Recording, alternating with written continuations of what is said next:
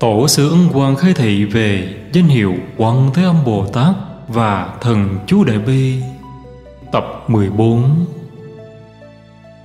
Sưu tập Tỳ Kheo Thích Chất Nhàn. Câu chuyện số 10 Chiều nhà Thanh, Đứa con gái của Phật tử Lâm Tử Khiết ở Hàng Châu. Một hôm, bỗng mắc chứng bệnh rất kỳ lạ. Miệng cứ lẩm bẩm. Khiết càng hỏi, Thì đứa con gái đáp rằng, Ta họ nghe, Tên Thoại Lâm, Người ở Dương Châu. Có năm mới mộ đất Bị mày chiếm đoạt. Đời trước, Đứa con gái này là con người họ lưu. Làm sao thẩm sát, Có nhận của ta Một số bạc lớn Để xử vụ kiện ấy, Nhưng đã không xử, Lại còn giết ta chết trong ngục. Từ ấy đã 60 năm, Ta bị hàm oan, Nên tìm cách đòi mạng. Nhưng vì không có dịp Nên đến hôm nay, Ta đến đây đòi mạng vậy thôi. Thế rồi, trong miệng cô gái đó Cứ lâm râm chuyện mình đến địa phủ Và thuật lại những việc ở chúng minh tê. Tụ khiết thấy vậy hết sức buồn rầu, nhưng không biết làm sao giải quyết. Sau đó, ông bảo con gái mình đến trước thánh tượng quan âm bồ tát lễ bái cầu đạo và phát nguyện mỗi người sẽ niệm thánh hiệu của ngài ba ngàn biến để nhờ bồ tát giải trừ oan nghiệp. Cô gái ấy một hôm nồng mộng thấy minh dịch, tức là lính dưới âm phủ cho biết rõ thời gian sự án, quả nhiên đến thời hạn thì bị đưa đến minh phủ. Cô gái ấy nghe thấy người tổ có mình ăn hối lộ và giết hại mạng của ông ta nên cô cực lực cải chính rằng người họ nghi chết không phải do mình giết. Phản quan bảo rằng tội giết sinh mạng thì không thật nhưng tội lãnh thọ tiền tài thì thật có. Vì thế, ngươi cần phải đền tội. Tuy nhiên việc ấy phải đợi diêm vương để thâm điện phán xử. Trải qua ba ngày, cô gái ấy lại bị bắt đến để tam điện để thẩm vấn.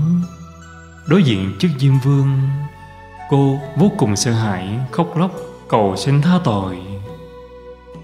Diêm vương phán Tội của ngươi tạo thì phải đến thọ, Không thể dung tha. Nhưng ta niệm tình ngươi có tâm sám hối Và trì niệm thính hiệu đại sĩ, Vậy ta tha cho ngươi.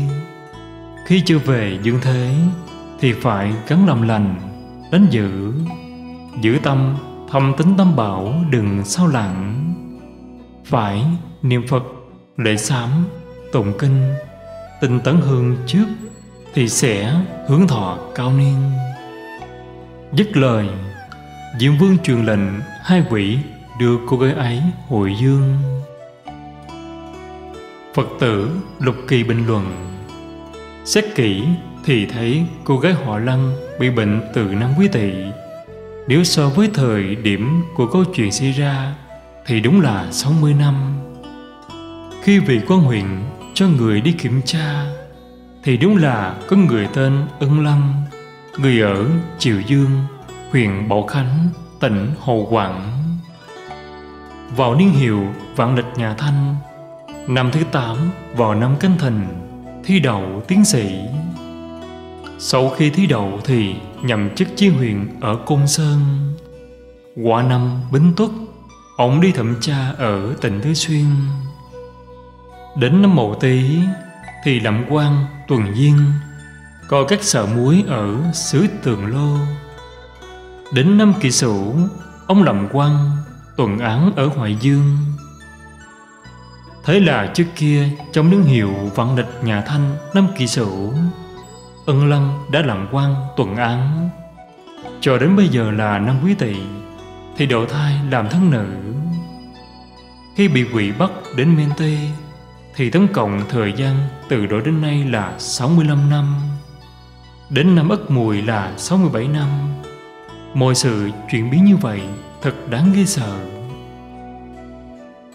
Tôi mong tất cả mọi người nói chung Và trong hàng Phật tử nói riêng, Khi xem tích này, Nên sinh tâm chán ngán kiếp luân hồi của chúng sanh trong lục thú, Mau tìm đường giải thoát. Nhưng muốn giải thoát Thì không phải là chuyện nhỏ. Cục yếu nên vâng lời Phật dạy, Nhất tâm niệm Phật, cầu về Tây phương cực lạc thế giới.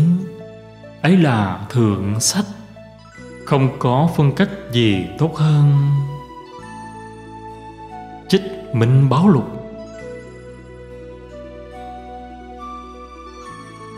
Câu chuyện số 11 Chùa Linh Chi, xứ Tây Hồ là thắng cảnh duy nhất ở Ngô Việt. Vì thế khách thập phương đi hành hương cũng như ngoạn cảnh, đông đúc, tấp nập vô cùng. Nơi ấy có thờ một thánh tượng quan âm bằng gỗ cao 7 mét, tướng hảo, đoan nghiêm, từ xưa đến nay rất là linh ấn. Tương truyền, phò thánh tượng ấy là do một vị tăng đi hành khất, quyên góp mà tạc thành. Sau khi thánh tượng tạc xong, thì thầy đi nơi khác. Trải qua nhiều đời, ngôi bảo điện thờ bồ tát theo thời gian cũng bị sụp đổ.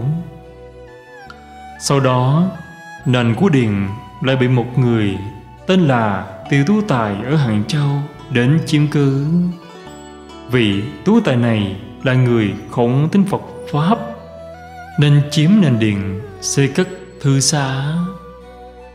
Đã hơn 10 năm mà thầy trụ trì trong chùa không đủ năng lực để kiến tạo ngôi bảo điện trở lại, nên tạm đem thánh tượng bồ tát đặt dưới chân pho tượng tạm thánh trong chánh điện.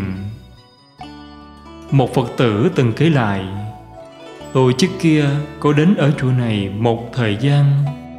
Mỗi khi vào chánh điện thi lễ, nhìn thấy thánh tượng quan âm không nơi thờ cúng, lòng hết sức vui người. Nên bàn thảo với thầy chủ trì tìm phương cách để kiến tạo lại bảo điện. Thầy vui vẻ đồng ý, nên tôi liền tự tay viết lá đơn, nói rõ nguyên do, xin quyên góp để kiến tạo ngôi bảo điện. Viết đơn xong, thì trước khi thầy duy trì để quyên góp, phải đem đến cho vị tú tài ấy xem để thực chứng. Vì tiêu tú tài là người quyền thế trong địa phương, nhưng họ tiêu từ chối vì lý do ứng thí khoa cử nhân chưa ổn định. Vậy là sự kiến tạo bổ điện bồ tát bất thành vài ngày sau, trên bảng nêu tên các thí sinh trúng tuyển. Không thấy có tên vị tú tài đó, mà còn mắc phải chứng bệnh lạc huyết rất nặng. Một hôm, quảng công từ khá thành, từ hội khi đến thăm. Tôi mời ở lại dùng cơm tối và nghỉ ngơi. Thì công tử kể lại một giấc mộng rằng, năm xưa người ấy từng nghỉ trọ tại thư xá của họ tiêu. Đêm nằm mộng, thấy một thần nhân từ không trung giáng hạ, Bảo phải đi ngay tức khắc.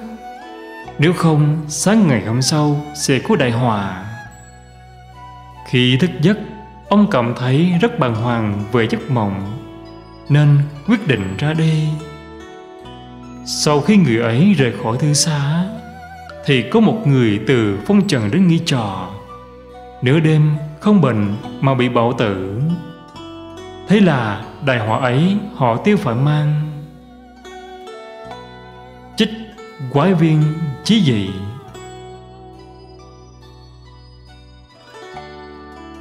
Câu chuyện số 12 Chùa Phổ Môn ở tại Linh Sơn Có một vị cao tăng Giới luật, tinh nghiêm, tu hành, giọng mạnh Đồ chúng của Ngài rất đông, Trong đó có 8 vị tăng. Các thầy thường đến nhà của quý Phật tử gần chùa, Lập đầu tràng phố đồ vong nhân.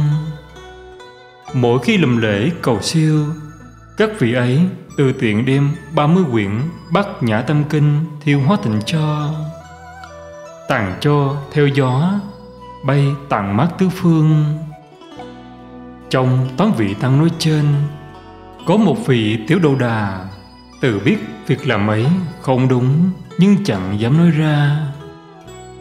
Một đêm nọ, Tiểu đồ đà mộng thấy mình Bị bắt đến diêm phủ. Khi vừa đến, Chú nhìn thấy một vị vương giả Người trên tòa cao Trong ngôi bảo điện. Bảy vị tăng trong chùa Đều hiện diện Và quỳ phía trước. Diệm vương hỏi Tại sao mấy thầy dám cả gan đem bắt nhã tâm kinh ra thiêu đốt trong lễ cầu siêu. Hiện tại, các chữ kinh còn rõ ràng bị vứt bỏ trên các nẻo đường. Người đi dẫm đạp làm nhớ thánh kinh, không tội nào lớn hơn tội này. Bảy vị tăng ấy đều nhận tội. Diệm Vương lại hỏi Tiểu Đầu Đà rằng Tại sao thầy thấy mà không chịu cản ngăn? Thầy thưa Tôi mới vào chùa Không dám trái ý sư phụ, sư huynh. Diệm Vương nói Chậm tha thứ cho thầy. Nhưng khi về dương thế Phải bạch với trưởng lão. Từ nay về sau Phải trực để ngăn cản đội chúng. Đối với kinh điển Phải hết lòng kính trọng Không nên khinh nhờn diễm Vương lại phán, Việc đốt kinh Bát Nhã trong các lễ cầu siêu, chỉ có các vị thánh tăng giới hạnh cao thì mới làm được. Do vì cho đó sẽ bậy lên thượng giới. Trái lại, các phạm tăng giới hạnh không toàn. Khi thiêu hóa một tờ kinh, giấy cho rơi xuống đất, chẳng những hoàn toàn không có công đức lại tự mình tạo tội ác muôn ngàn. Thôi, thầy mau trở lại dương thế đi Đem lời chậm nói để phổ biến trong hàng tăng tục ở mười phương. Tùng bắt nhã tâm kinh in trong các kinh thì được. Còn việc thiêu hóa để cầu siêu thì không nên làm. Tiểu độ đà khi thức dậy thì đem việc này bạch với chân lão. Không bao lâu thì có bốn vị tăng bị tứ nặng do bức tường đè chết, hai vị tăng khác thì bị chết đuối dưới sông. Vị tăng còn lại chết vì bị quý mi đè. Tiểu độ đà thấy mọi sự ứng hiện như lời diệm vương nói. Từ đấy, quyết tu hành tinh tấn hơn xưa, về sau chứng ngộ đạo quả chích tích tự toàn biên.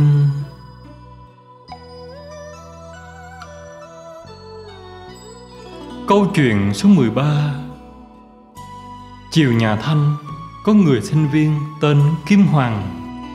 Ở huyện tỉnh Chức Giang, tánh tình, hiền hậu và chi hiếu. Vào niên hiệu Khang Hy năm thứ sáu, ngày 21 tháng 7 Hoàng nằm mộng thấy tường y tiên nhân đến bao rằng, Người có tốt nghiệp, nên ngày này năm sau sẽ bị thiên lôi đánh. Hoàng giật mình thức dậy, nhớ lại lời của tiên ông dạy vô cùng lo sợ. Nhưng giáo hoàng là đứa con sống trong gia đình phật tử, kính tính ngôi tam bảo, hiểu rõ lý nhân quả, nên hàng ngày đến trước phật đài cầu xin sám hối tội lỗi. Tiêu trừ nghiệp chướng. Ngoài giờ lễ sám tụng kinh thì cầu Bồ Tát Gia Hộ. Năm sau, vào ngày nói trên, đúng lúc bầu trời quang đẳng, Hoàng bỗng thấy không trung mây đen bùa khắp tối tăm, tự biết không thể nào tránh khỏi túc nghiệp, như lời tiếng ông đã nói. Việc trả quả, Hoàng vui lòng, nhưng điều Hoàng hết sức nói buồn là còn mẹ già ở lại không người phụng dưỡng dù anh chị em có đông nhưng những người ấy không lo được cho mẹ Hoàng vội đến dưới ngôi phù đồ ở núi Vân Búc, quỳ trước hậu tháp, chắp tay thành kính xưng niệm thánh hiệu quân âm. Bỗng một trận cuồng phong bão nổi dậy, sấm sét đùng đùng vang trời. Lúc ấy tất cả gia nhân đều hốt hoảng khóc than vì họ tin rằng thấy đạo hoàng cũng sẽ chết dưới lưỡi tầm sát của thiên lôi nhưng trận mưa giông vừa chấm dứt thì cánh trời trở lại quang đẳng mọi người kéo nhau đến ngôi phù đồ. Thì thấy kim hoàng vẫn chấp tay, ngồi thẳng như nhập thiền định. Mọi người mừng rỡ muôn phần. Đỡ hoàng đứng dậy đưa về nhà. Hoàng lúc ấy kể lại, lúc tôi đến quỳ trước bộ tháp, thì chuyên niệm thánh hiệu quân âm tôi cảm thấy an ổn nhưng ngủ và thấy quán âm đại sĩ, cầm nhành dương liệu rưới nước cam lồ trên thân. Ngài lại, cầm chiếc gương báu chiếu vào thân tôi, rồi bỏ đi. Khi ấy, tôi như người trong giấc mộng thức dậy. Từ đấy, thân mẫu kim hoàng cùng với tất cả gia nhân, tính tâm với phật pháp càng mãnh liệt nhất là với đại bi quảng thế âm bồ tát. Lòng tin càng triệt để. Mỗi ngày hai thời, việc tụng niệm không biến trễ và chuyên lễ bái cúng dường đại sĩ. Để ghi nhớ thâm ân, hồi sanh cứu tử cho kim hoàng. Trích hồ duy tập ký.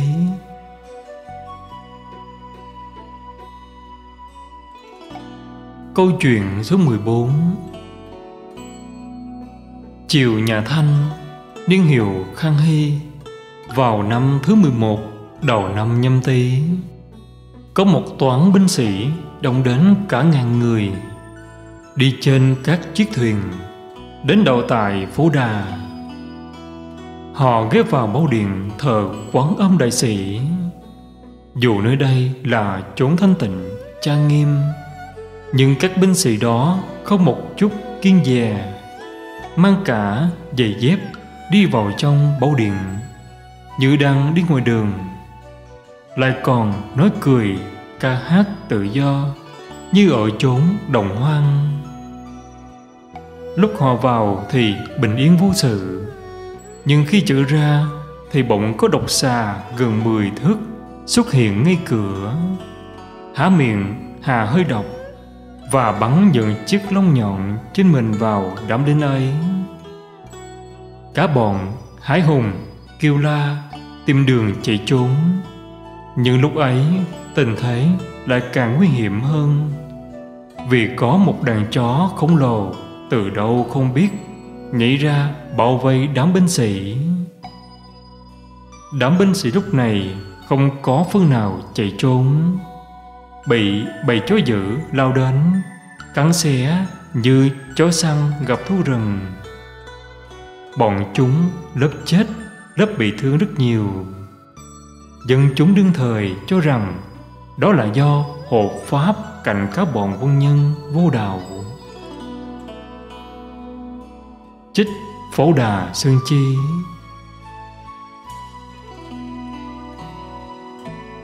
Câu chuyện số 15 Tại Thạch bồi Trầm ở Giang Tô, tỉnh Côn Sơn, có một điện đường thờ quán âm đại sĩ. Nơi đây phong cảnh rất tịch mịch và thanh lương.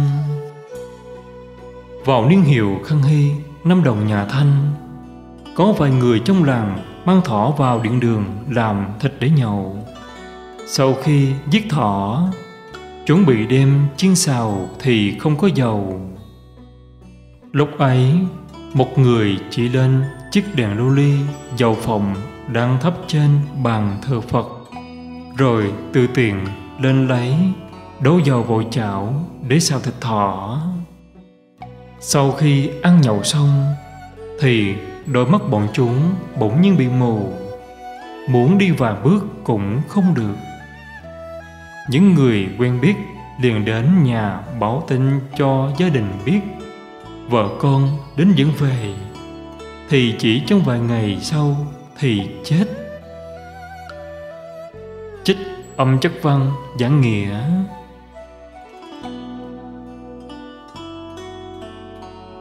Câu chuyện số 16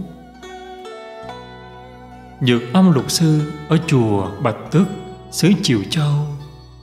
Hòa thượng phát nguyện kiến tạo lại ngôi bộ điện để thờ quán âm Bồ Tát Nhưng lúc chưa hoàn thành ngôi bộ điện Thì tài chánh đã hết Nên không thể xây thêm bốn bên hành lang Lúc bấy giờ Có người Phật tử họ Phan nghe tin vội mang đến hai mươi lượng vàng cúng dường để hoàn thành công việc này.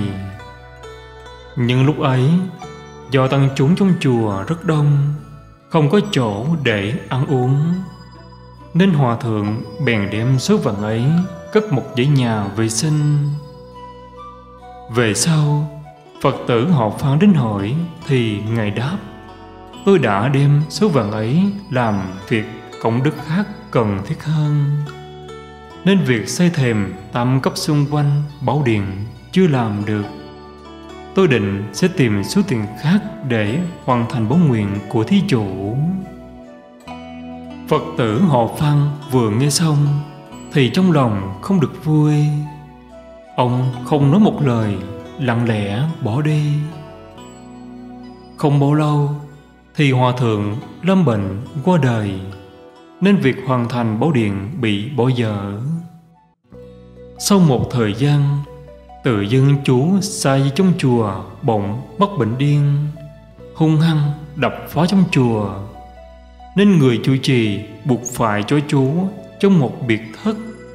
Vài giờ sau đã thấy Sa Di đi ra.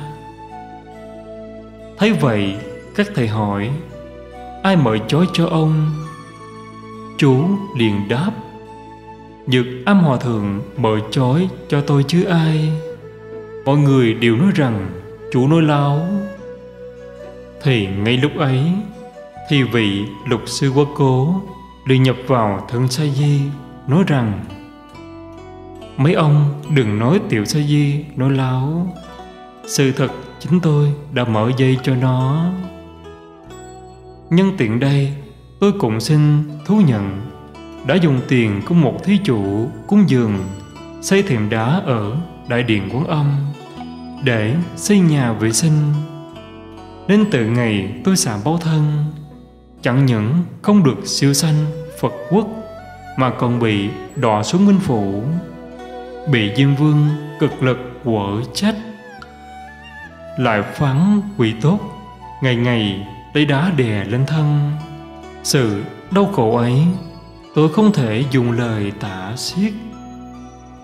Vậy tôi mong tất cả đội chúng, nghĩa tình sư đầy mau mau quyên góp tiền. Mua đá rửa thật sạch, mướn người xây tam cấp, để công việc bố điện được hoàn thành. Hàng ngày, xin huynh đệ vân tập lên chánh điện.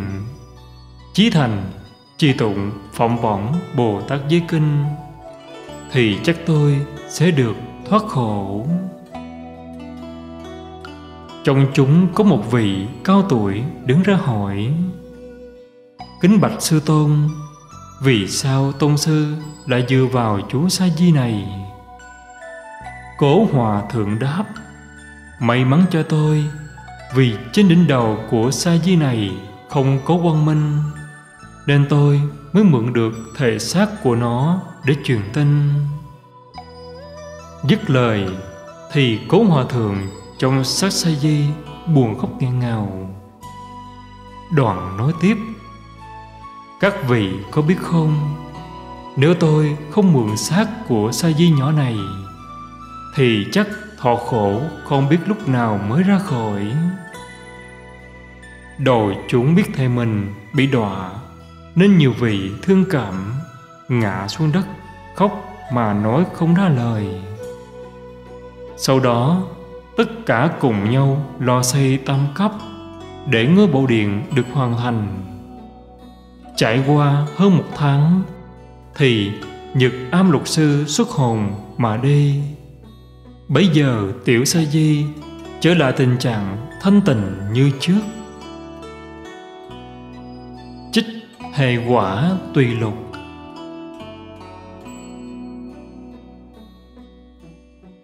Câu chuyện số 17 Phật tử Chí Ông là một người cự phú ở Tô Châu. Tuy sống trong gia cảnh giàu sang sung sướng, Nhưng với tiền bạc, Ông lại xem thường như đất đá. Ông chỉ ưa thích việc làm chồng đạo nghĩa, Nhất là hành bố thí. Trên 40 tuổi Ông mới sinh được một đứa con trai Đặt tên trẻ ấy là Hoàng Một hôm Ông mang 300 đường vàng đến chùa Hoa Nghiêm, xứ Hậu Khâu, để trùng tu đại điện thờ Quan Âm Bồ Tát. Khi vừa đến chùa, chí ông bỗng nghe tiếng khóc than bên hồ kiến trì.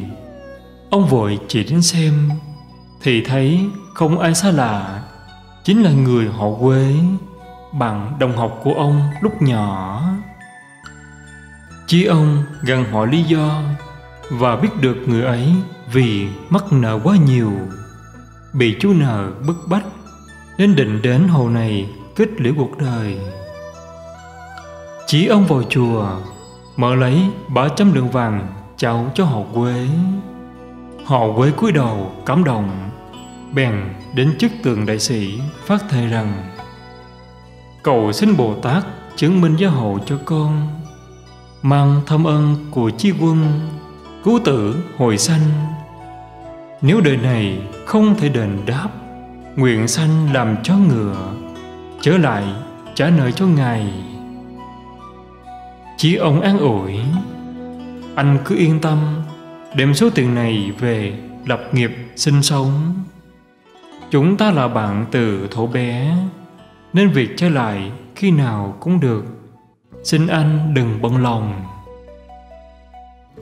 Chí ông sau đó trở về nhà, Mang đến đủ số vàng như trước Trở lại chùa. Cầu xin chủ trì trong chùa, Lo việc trùng tứ bộ điện quan âm cho mãn nguyện. Chí ông lại đem khu vườn trồng táo độ hai ba mẫu, biểu cho họ quế để lập gia nghiệp.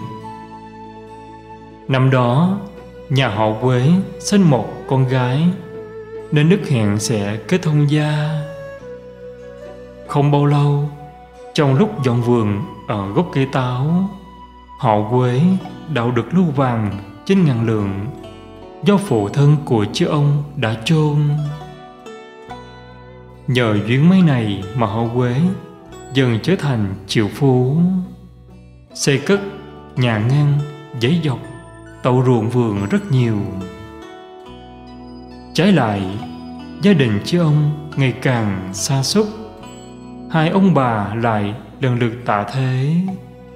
Nên bây giờ, đứa con trai tên hoàng trở thành trẻ mồ côi không nơi nương tựa. Họ quế nghe vợ là tôn thị, thuật rõ tình cảnh hiện tại của hoàng nên ông ta sợ đến đòi món nợ ngày trước. Bèn toan tính việc phán bội lời đến ước với chị ông trước đây. Ông ta dời cả gia đình đến hội kê lập gia nghiệp khác. Ngôi nhà đồ sộ đang ở thì sang lại cho người khác.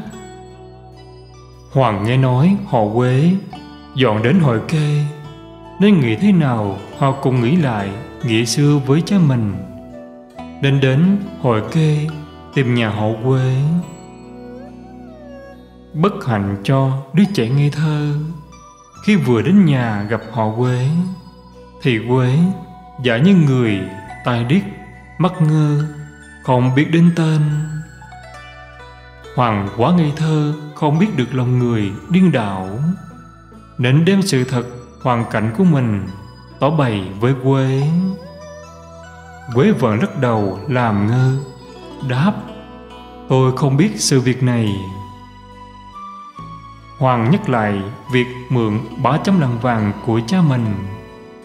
Bấy giờ với lại giới trò tàn nhẫn bảo Ghi mau ra khỏi nhà này, Đừng nhiều lời đôi thôi. Nếu không, ta sẽ gọi nhà hộ trách đến trừng trị.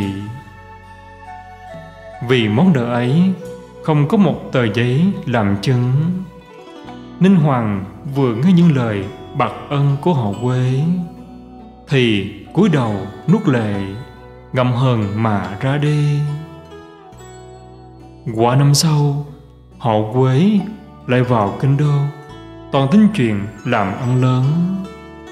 Hợp tác với người, Nhưng người gian ác, Tất gặp kẻ ác gian.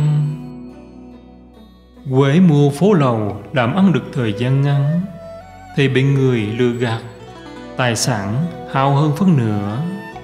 Sau đó lại bị chiếm đoạt luôn nhà phố. Bây giờ Quế ở kinh đô như đợi khách không nơi nương tựa. Một đêm nọ, trong lúc nghỉ trọ ở nhà người, suốt đêm chằn chọc không ngủ được khi vừa thiêu thiếu ngủ, thì thấy mình đi đến một ngôi nhà đồ sộ. Cửa nẻo đóng kín, chỉ có một lỗ trống bên cạnh. Quế dùng hai tay, chống xuống đất chui vào, thì thấy ở trên nhà đèn lớn sáng chân có một lão ông ngự nơi bàn ăn. Quế nhìn kỹ thì chính là chi ông quế vô cùng hổ thẹn, muốn đưa tay lên với chào, nhưng hai tay bị dính chặt dưới đất không thể dơ lên. Quế bò ra vườn sau, thì thấy vợ mình và hai con đều hiện diện ở đó. Nhìn kỹ, thì tất cả đều là hình dáng chó, chứ không phải là người. Ngó lại bóng mình cũng đã hóa thành chó quế quá kinh hãi, nên hỏi nguyên do. Ông thì nói, ông không còn nhớ lời thề ở trước quán âm đại sĩ hay sao?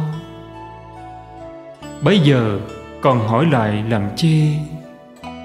Với giật mình thức dậy, thì biết đó là giấc mộng. Bèn vội vã sắp xếp hành trang, trở về hội kê. Vừa về đến nhà thì nhìn thấy trong nhà có hai chiếc quách. Trên bàn có bài vị của hai đứa con mình. Quế, hải hùng bước vào trong. Thì thấy vợ cũng đang bị bệnh, nguy ngập, sắp tắt hơi. Quế đứng bên cạnh, gọi lớn. Thì vợ ông bỗng mở mắt. Nhưng lạ lùng là người vợ của quế cất giọng hỏi ông bằng giọng của đứa con trai lớn tại sao hôm nay cha mới về? Quá chậm trễ như vậy. Gia đình ta phụ ơn bội nghĩa nhà họ chí nên minh vương căn cứ vào lời thề của cha ngày trước, hoặc ba người là mẹ và ảnh em chúng con, đến sáng ngày mai sẽ đến nhà họ chí đầu thái làm chó. Trong ba con chó đó, có hai con đực chính là ảnh em chúng con. Còn cho cái trình lần có bố chính là mẫu thân. Riêng phần cha, đến tháng 8 mùa thu năm nay, cũng sẽ làm chó nhà họ chí để trả lại lời thầy trước.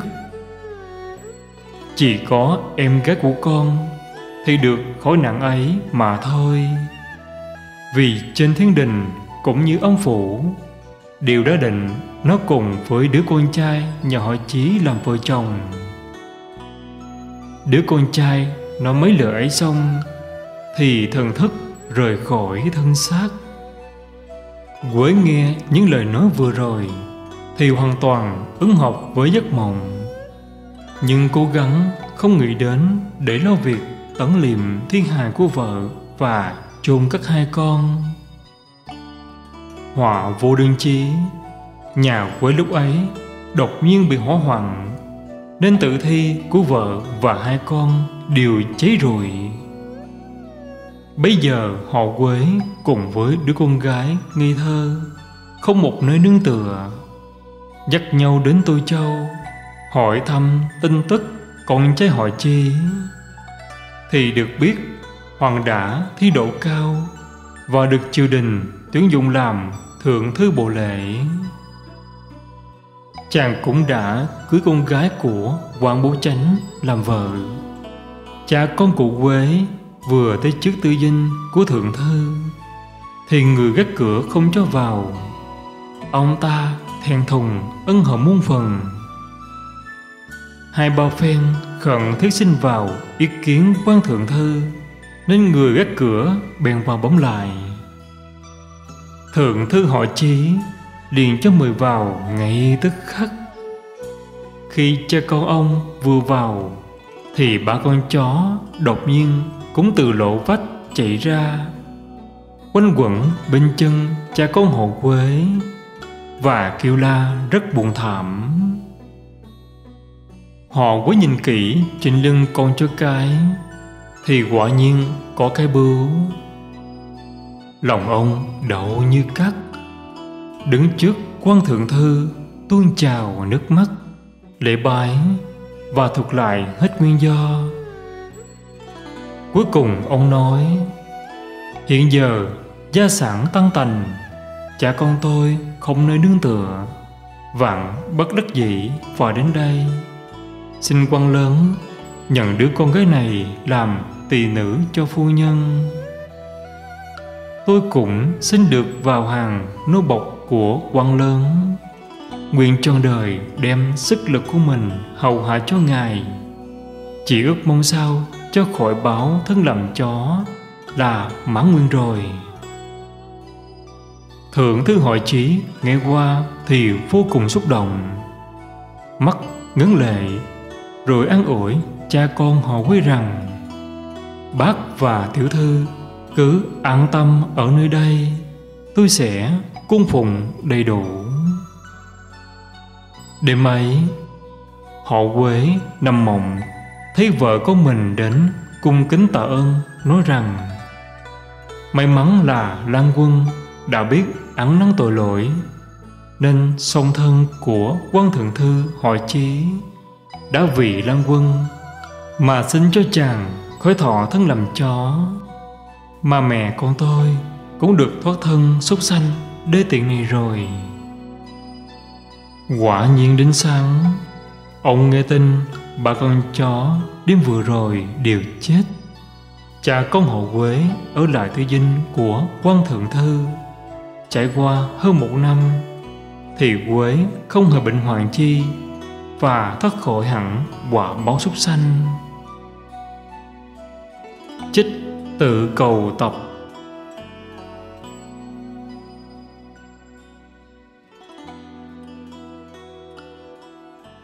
F. Những câu chuyện cảm ứng khi niệm danh hiệu Quan Thế Âm Bồ Tát và Trì Chú Đại Bi Phổ biến thị hiện Câu chuyện số 1 Chiều nhà đường, Văn Tôn Hoàng đế là người rất thích ăn các loại sò ốc. Nhà vua truyền lệnh cho dân chúng miền duyên hải ở đông nam, mỗi năm phải đem vào cung hiến dân món ăn này. Vì thế dân chúng miền biển cực khổ không tả xiết. Một ngày nọ quan người chủ đi chợ, thì thấy có một con sò rất lớn. Ông ta mua về dùng dao chẻ, nhưng nó không há miệng. Nhưng lúc dùng dao gõ, thì nó liền há miệng. Nhìn vào bên trong, thì ông nhìn thấy một tượng quan âm bồ tát rất oai nghiêm. Nên quan người chùa kinh sợ, không dám làm thịt vội mang dâng lên cho vua xem. Văn tông hoàng đế nhìn thấy vô cùng kinh ngạc. Ngài lập tức truyền lệnh cho quan đại thần. Rước thợ đến làm một chiếc hộp bằng gỗ chiến đàn hương. Sơn son, thiếp vàng, để đựng thánh tượng và thờ ở nội cung. Hàng ngày, văn đế mai chiều đến trước thánh tượng ấy lệ bái. Nhà vua lại cho người đến thành quốc sư, vào nội cung để hỏi nguyên nhân Bồ Tát thị hiện. Sau khi quốc sư đến, văn đế đảnh lễ và thịnh vấn nguyên nhân. Quốc sư đáp, bệ hạ nên biết, Bồ Tát ứng hiện nơi vật không bao giờ hư dối. Trong thân sọ ốc mà có thánh tượng vấn âm là muốn khởi tính tâm cho bệ hạ cần phải tiết kiệm sự thoa dùng và đối với nhân dân thì phải luôn có tự tâm. Y như trong kinh dạy, nếu có người cần dùng thân bồ tát để độ thoát, thì hiện thân bồ tát vì đó thuyết pháp. Văn đế lại thưa, nếu quốc sư dạy như vậy, thì chậm chỉ mới thấy thân bồ tát, nhưng chưa được nghe ngài thuyết pháp. Quốc sư liền hỏi bệ hạ có tin hay không? Văn đế đáp, chậm đâu dám không tin. Quốc sư nói tiếp, như vậy là bệ hạ đã nghe thuyết pháp rồi đó.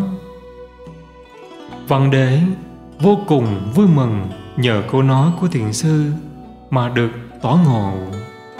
Từ đấy, tuyệt đối không ăn sò ốc nữa.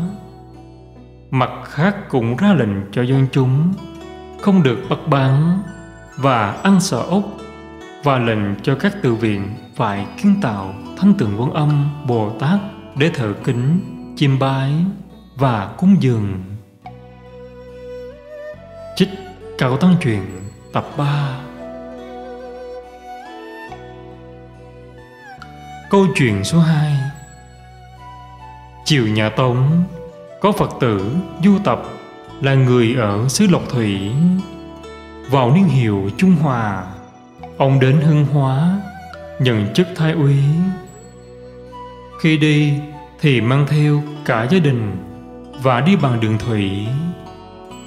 Đến xứ sông Hoài Thì ông thấy có rất nhiều con trai lớn Và những người chinh ghe hàng ngày mua về để nấu ăn. Du tập mỗi khi thấy thì thường xuất tiền mua hết, rồi thả lại xuống sông. Một hôm, ông nhìn thấy mọi người đang mang một giỏ đựng đầy chai lớn rất nặng đem đi nấu ăn. Ông liền trả giá ca gấp bội, nhưng họ không chịu bán. Và đem bỏ vào nồi nấu. Bỗng như lúc ấy, từ trong nồi nấu có âm thanh niệm Phật rất lớn. Lại thấy ánh quang minh phát ra bên ngoài. Tất cả mọi người trên ghe đều kinh sợ Dở nắp ra xem Thì thấy có một con trai rất lớn Đang mở nắp há miệng. Trong thân con trai đó Có thánh tượng quán âm Bồ Tát Tướng hảo trang nghiêm. Trên thân có đủ chuỗi Á Mão, An Lạc Bên cạnh lại có hai cây trúc. Cành lá tươi tốt. Đều là do Thương Ngọc rất nguyện học thành. Vua tập liền bảo những người trong ghe Phải chí thành niềm thánh hiệu Tây Phương A-di-đà Phật, Sám trừ tội ác. Đoạn thỉnh võ cha ấy về tứ dinh, Để thờ. Mai chiều lễ bái cúng dường đại sĩ. Trích Cảm ứng thiên truyền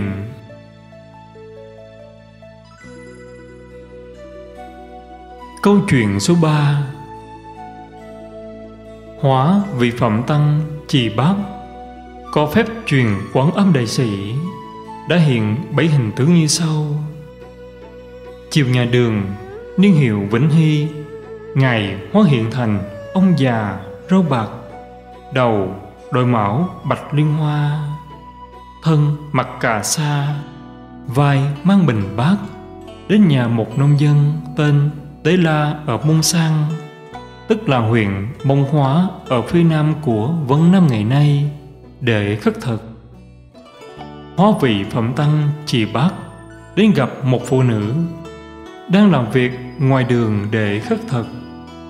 Ngài ngồi trên thạch bàn ở cổ sơn, Phía trước có châu xanh, Bên trái có người trắng mồm đỏ, bên phải có voi trắng phía trên có tường vân ngũ sắc che phủ. Trong tường vân ấy có hai đồng tử. Một người cầm thương sắc, một người cầm chiếc kinh vuông. Khi cảnh tượng này diễn ra, thì tất cả mọi người từ nông phu làm ruộng, đến trẻ chăn trâu đều nhìn thấy. Vậy lâu sau thì ngài bay vào trong mây, ẩn mất đời nam chư vương, mộng la thành, ngài lại hóa thân thành một vị tăng vai mang bình bát, tay cầm tích trường. Đi cất thực có dắt theo một con chó trắng. Dân chúng ở xã khai nam, chỉ muốn làm nghề trộm cắp. Nên chúng rất ghét chó dữ. Súng nhau bắt ngài rồi cắt lóc da thịt trên thân ngài ra từng mảnh. Nhưng trong chốc lát thì ngài sống lại, cười nói như thường. Bọn đạo tặc này rất nổi giận, lại quyết tâm giết hại ngài. Chúng lóc thịt da ngài rồi đem bỏ đi. Còn phần xương đem đốt thành cho, rồi bó vào ống tre, thả chìm trôi theo làn sóng. Nhưng sau đó thì ngài lại từ ống tre đi ra. Hình thể không hề bị tổn thương chút nào. Tất cả dân chúng trong làng thấy thế. Kinh sợ, đều phát nguyện quy y với ngài. Và từ ấy, phát tâm kính tinh tam bảo. Nhà nhà, ăn chay, niệm phật, tụng kinh, bỏ hẳn nghiệp xưa hóa vị phẩm tăng, có lần hóa hiện thành vị tăng. Tay cầm nhành dương liệu chân mang gốc cây, hướng về bảo sơn mà đi. Bọn vương lạc cưỡi ngựa đuổi theo, không kịp, nên tức giận dương cung bắn.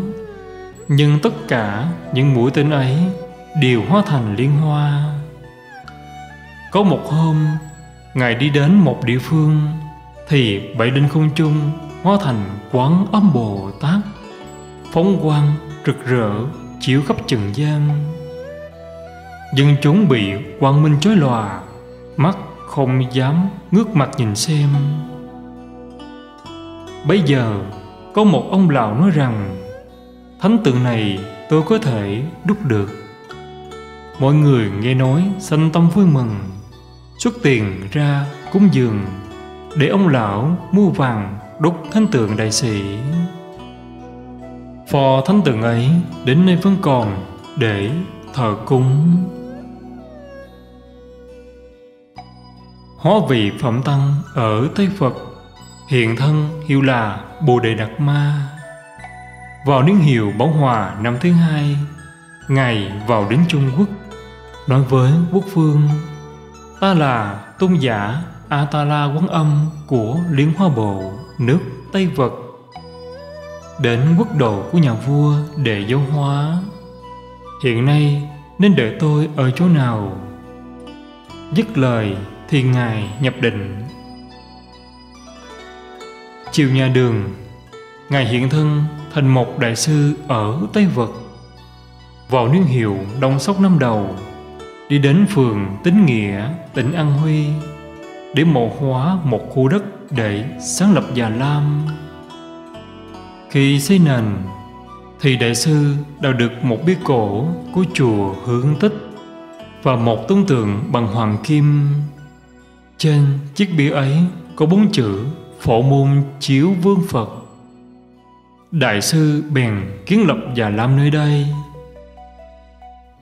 Đến niên hiệu cảnh long năm thứ hai, trung tôn hoàng đế sai sứ giả bái thỉnh đại sư về nội cung, tôn làm quốc sư, và thỉnh ngài đến chùa tiến phước cư trú. Thường ngày, đại sư ở một mình trong tịnh thất.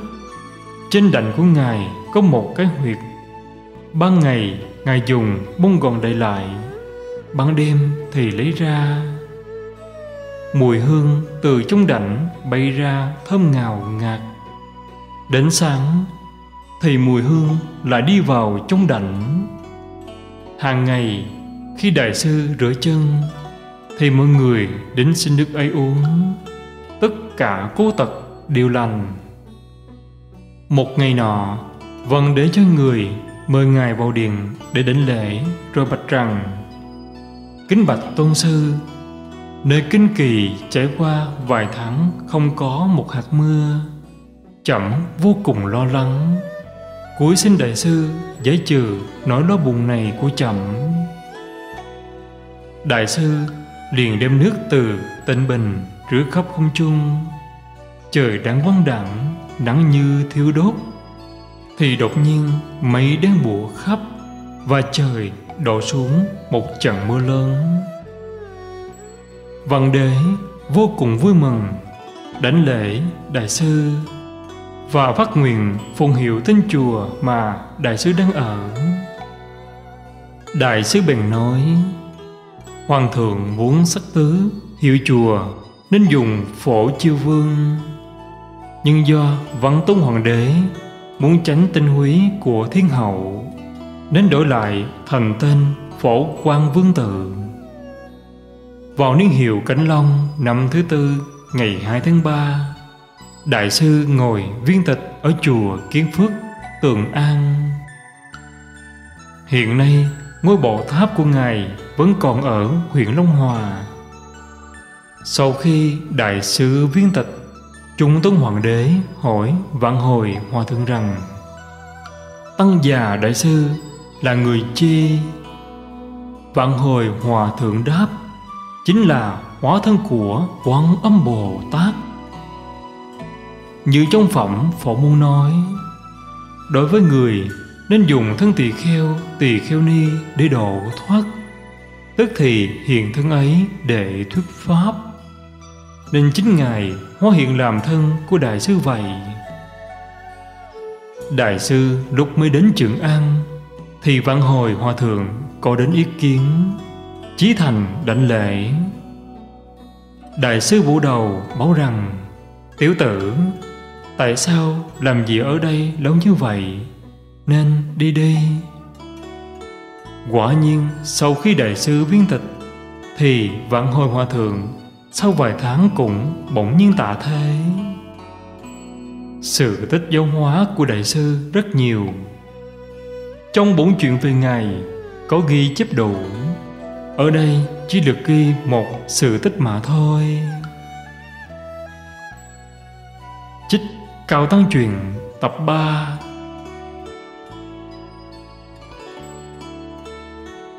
Câu chuyện số 4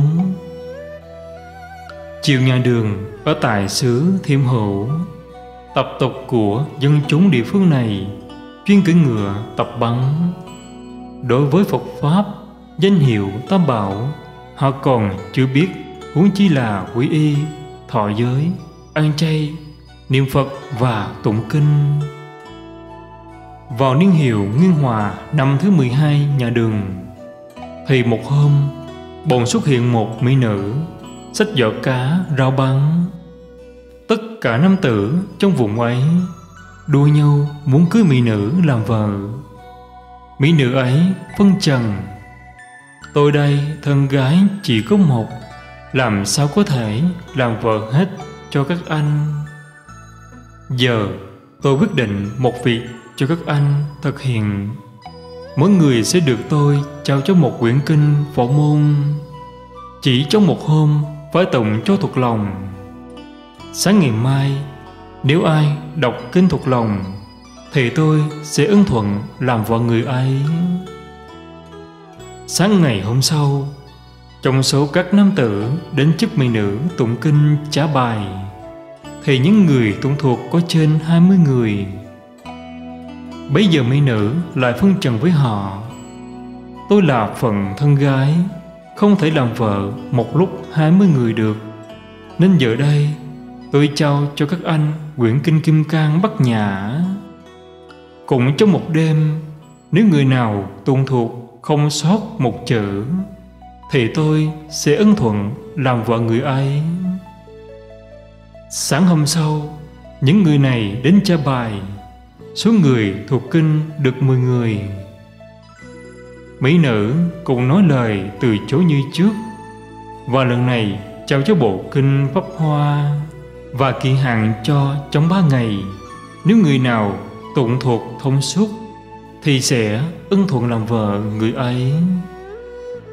Sau ba ngày, chỉ có chàng họ mã là tụng kinh pháp hoa thông suốt. Thế là mỹ nữ không thể từ chối được nữa. Chàng thanh niên họ mã Sắm sửa lễ vật hậu hĩnh, Đến rước mỹ nữ về nhà. Sau khi làm lễ, ông bà Đến tối, trong giờ phút chuẩn bị động phòng, Thì mỹ nữ nói, Hiện giờ đang bị trọng bệnh. Đến cầu xin cho ở riêng một phòng khác. Chàng họ mã và người trong nhà đều ưng thuận. Khi bước vào phòng riêng, Chưa kịp dùng thuốc, Thì chị trong chốc lát đã qua đời. Có điều lạ là sau khi chết, Thông thường các tử thi thường để hai ba ngày Thì mới sinh chương rụt rã. Còn mỹ nữ, sau khi tắt thở, Thì tử thi xình chương ngay lập tức. Hôi thối không tả xiết, nên người nhà lập tức lo tận liệm. Sáng ngày làm lễ ăn táng. Sau khi làm lễ tống táng cho vợ xong, chàng họ mã mỗi ngày đến trước phần mộ khóc than kỳ lệ đến ngày mở cửa mã, thì đột nhiên có một vị hòa thượng mặc y tử bào đến nơi phần mộ. Thấy thanh niên họ mã khóc than kề lệ ngài hỏi lý do. Thanh niên họ mã đem hết đầu đuôi câu chuyện thuật lại cho hòa thượng nghe. Ngài nghe xong liền báo rằng, đấy chân qua là do ông thấy sai lầm. Chứ làm gì mà thân người vừa chết lại sình chương hôi thối? Giờ ông nghe lời ta, cho người đào mã dỡ hòm ra xem. Quả nhiên, sau khi đào mã Dỡ hòm ra xem, Thì trông thấy trong ấy, Phần xương của mỹ nữ Đều là những thỏi hoàng kim sáng rực. Tất cả dân xứ thiện hữu nghe tin đủ nhau đến xem. Ai nấy đều lấy làm lạ và tán thán Là sự việc chưa từng có. Hòa thượng đứng giữa mọi người rồi chinh trọng dạy rằng Mỹ nữ này chính là hóa thân của quận ông đại sĩ.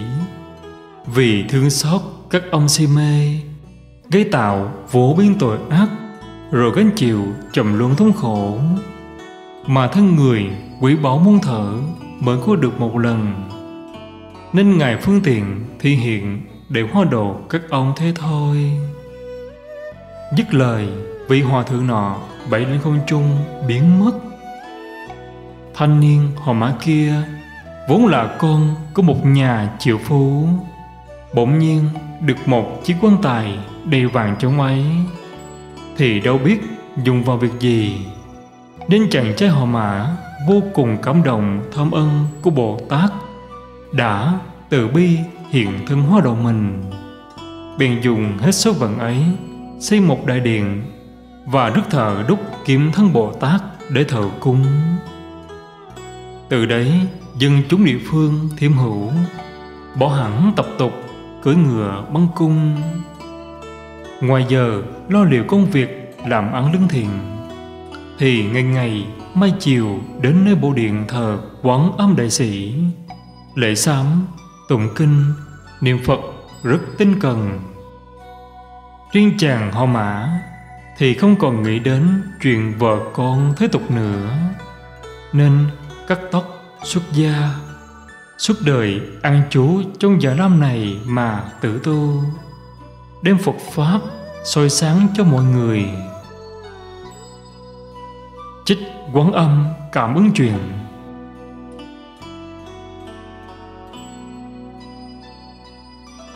Câu chuyện số 5 Triều nhà Thanh Như Băng Hiền là người ở Triều Hưng. Lúc trẻ tuổi, chuyên nghề buôn bán để nuôi thân. Đến khi 60 tuổi thì ông bỏ hẳn việc bán buôn. Hai ông bà phát nguyện tu tịnh độ. Ngoài việc niệm Phật, Hai ông bà từng đến lễ kinh Hoa Nghiêm Tám Bộ. Thông thường gọi là lạy kinh. Lạy kinh là cách thức lạy từ đầu đến cuối bộ kinh. Mỗi chữ là một lạy. Khi lạy kinh Pháp Hoa, Thì xứng rằng Nam Mô Đại Thừa Diệu Pháp Liên Hoa Kinh. Sau đó lạy một lạy, Rồi tiếp tục đọc. Như thị ngã văn, vân vân, Cho đến hết bộ cũng như vậy. Như thế mà hai ông bà Phật tử Băng Hiền đã lạy tám bộ Kinh Hoa Nghiêm. Mỗi bộ là 80 quyển. Bao nhiêu cũng đủ thấy công phu tu hành của hai ông bà sâu dày biết chừng nào. Niên hiệu đạo quang, Triều Nhà Thanh, năm thứ 18 Phật tử Văn Hiền được 86 tuổi. Bà vợ ông bệnh sơ sài trước ông, Sau đó ông cũng bệnh nhẹ. Đến một hôm, Bà gọi con dâu đến bảo rằng con chạy ra ngoài thất của cha. Hai ông bà xong riêng. Chuyển lời của mẹ bảo cho cha con biết rằng Mẹ sắp về Tây Phương. Cha con ở lại mạnh giỏi, Cố gắng niệm Phật rồi về sau. Con dâu vâng lời đến thư với cha chồng, Phật tử băng hiền bảo, Con vào nhà thưa với mẹ con, Hãy chậm lại ba ngày nữa. Để đồng đi với cha luôn một thể cho tiền. Con dâu vào nhà thư lại Thì bà ưng thuận. Quả nhiên đến ngày thứ ba, Cả hai ông bà ai như vui vẻ, Niệm Phật mà vãng sanh. Bấy giờ nhằm ngày 23 tháng 6 Trích Ngô Dần Đường Thuật.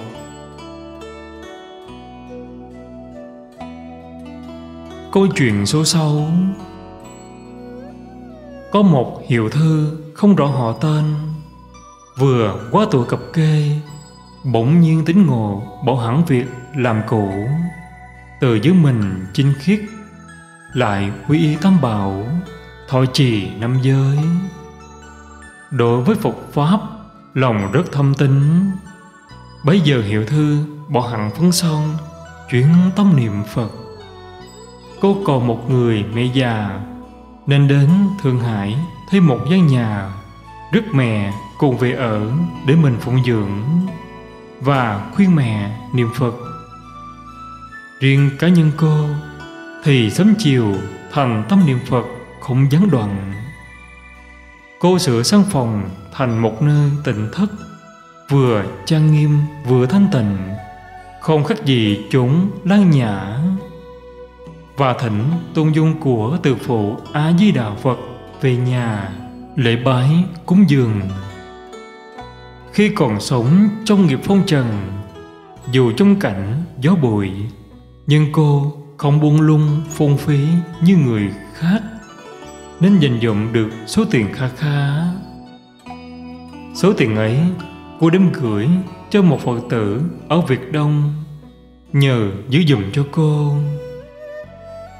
Đến năm dân quốc thứ 13 đầu tháng 2 Cô nhờ bà giúp việc đến Việt Đông mời Lương Tiên Sinh đến và thưa rằng Thưa Tiên Sinh, con tu hành chưa được bao lâu mà may mắn quá con được giải thoát.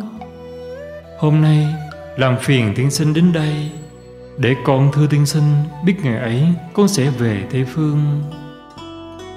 Về số tiền con gửi cho Tiên Sinh sau khi con bỏ thân phận này, Xin tiên sinh dùng số tiền đó Lo việc tống tán Và trái tăng làm phước Và để lại một phần Cấp dưỡng cho mẹ già của con.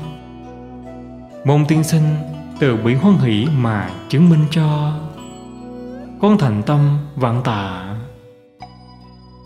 Lương Phật tử nghe nói thì đáp rằng, Tuổi cô chỉ vừa mới qua xuân Tại sao vội nói đến việc ấy Hiểu thứ yên lặng Đưa lương Phật tử ra về Đến ngày cô đã hẹn như nói trên Bà giúp việc đến nhà lương Phật tử báo tin cô đã vãng sanh Tây Phương cực lạc thế giới. Phật tử họ lưng nghe xong thì hết lòng tán thắng, vội vã đến nhà để lo việc tống tán. Mọi việc đều làm ý theo lời cô dặn. Và trừ lại một phần để cấp dưỡng cho mẫu thân cô. Chích cận đại vạn thanh truyền.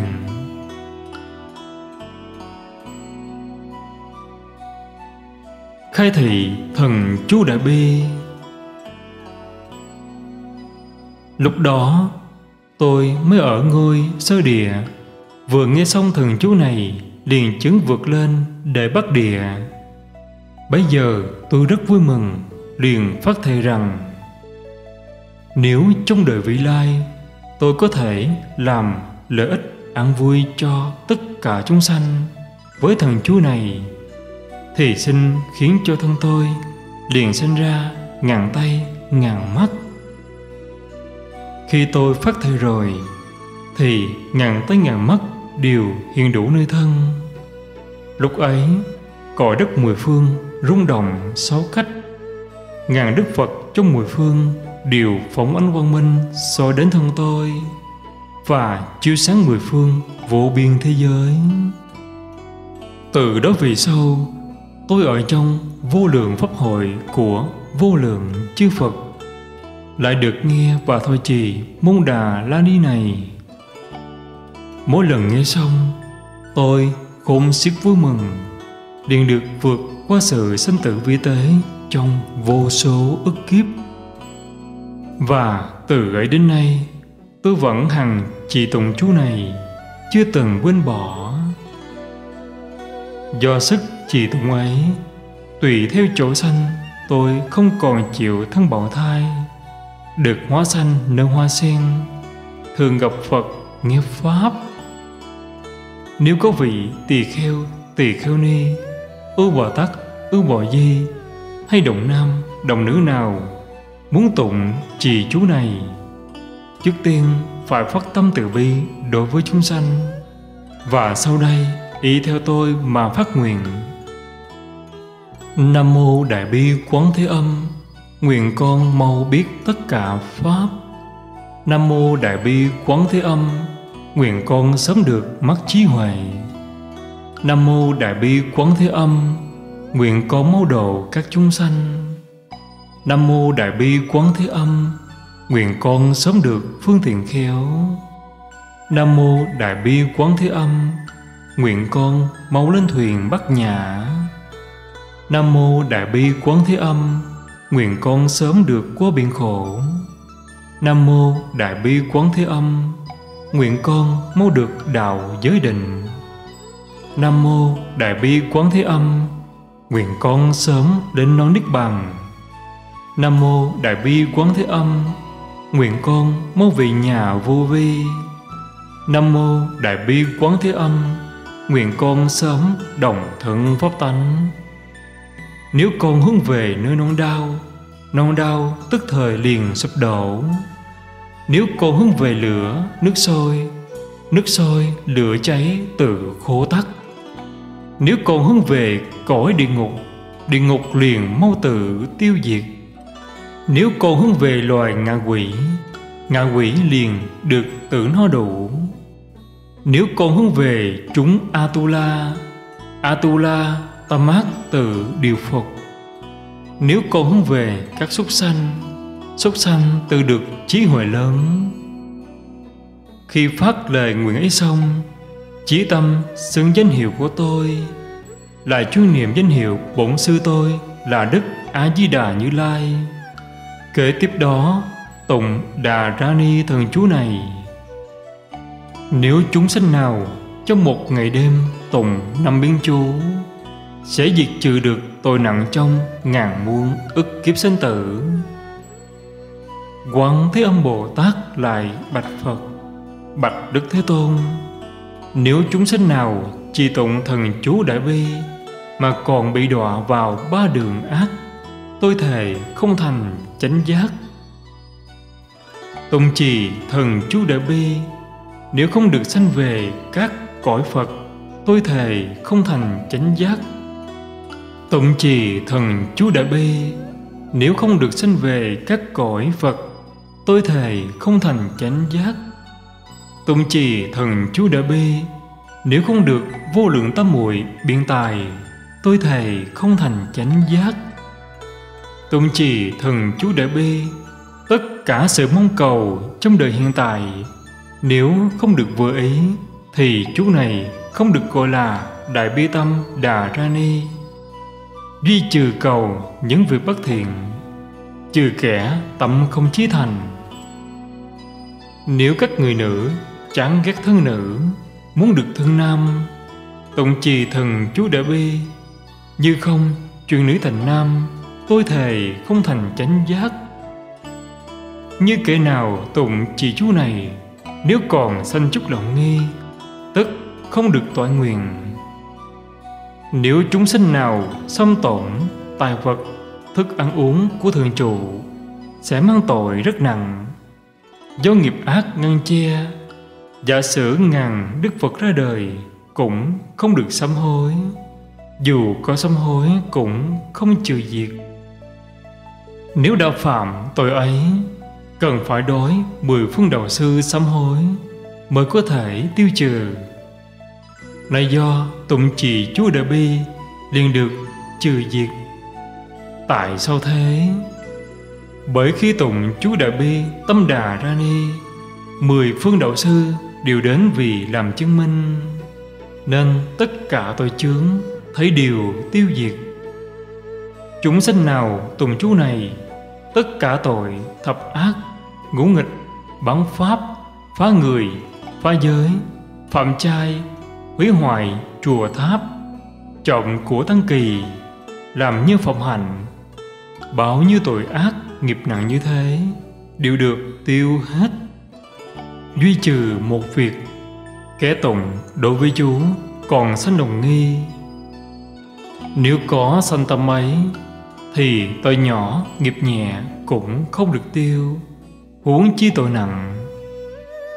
Nhưng Tuy không liền diệt được tội nặng, Cũng có thể làm nhân bồ đề về kiếp xa sau. Bạch Đức Thế Tôn nếu các hàng trời, người tụng trì thần chú đỡ bi Thì không bị mười lăm việc chết xấu Sẽ được mười lăm chỗ sanh tốt. Thế nào là mười lăm việc chết xấu? Một, không bị chết do đói khát khốn khổ. Hai không bị chết do công tù đánh đập. Ba không bị chết vì oan gia thù địch 4. không bị chết giữa quân trận chém giết nhau 5. không bị chết do cọp sói cùng ác thú tàn hại 6. không bị chết bởi rắn rít độc cắn 7. Không bị chết vì nước trôi, lửa cháy 8.